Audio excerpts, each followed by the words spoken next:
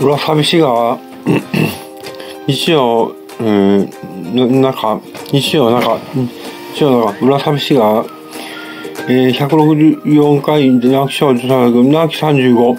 第2話このうんうん浦寂しが浦寂しが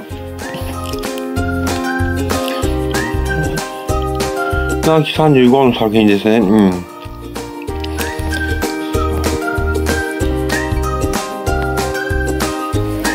この間、その後は流ることない、多分とため込んだ、えー、シーアクターが過ぎ去るためや、18の地地地方には、と思われた、岸辺の、えー、杭に寄せる、えー、和楽とや、えー、落葉は、夏に、えーえー、迎えて、使い始めている。梅雨には、家族から上からの匂いが立つ。杭の一本に、赤い血、血、血、血、橋が生えついてて、それが今の自分が姿になった、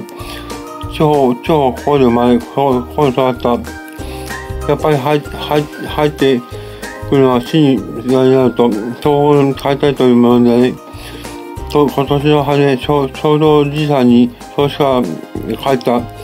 えっ、ー、と、母の金がそんなことをした。うん風が持て人人は一月の方に寝込み、そのまま、枕が上がるほどなく静かに、うん、参ったら、うん、行ったら、ああ、帰りてえな、もう一遍だけ、えー、霞が裏に見てえな、それだけで、ところで寝ぐり返してつられたという、じいさんの名前にはしたったね。か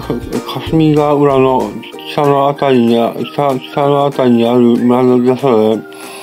ここそろそろそうであれば寂しく思うものか。いやその私たちがそこ出たら二度と戻ったないとハード狭い町にも森にも地方顔のは癒しがさせていた。父のお地蔵はいつも通り貧乏道具の財と蔵を抱いて地方のさて、ものに気をたれるふりをする。その返事されるのに、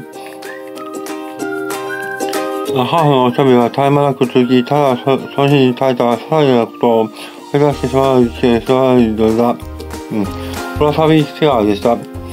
えー、入学お助け、ヒノキシン、ひなき35の作品でした。